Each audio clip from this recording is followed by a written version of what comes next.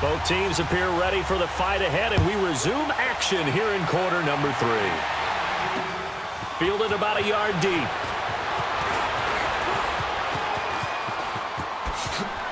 And a nice spin into some open field.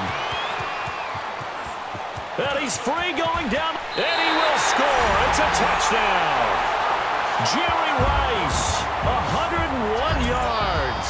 And the Madden Elites, they extend their lead. And people still trying to get back to their seats from the concession stand here at the start of the third quarter. And boom, we got...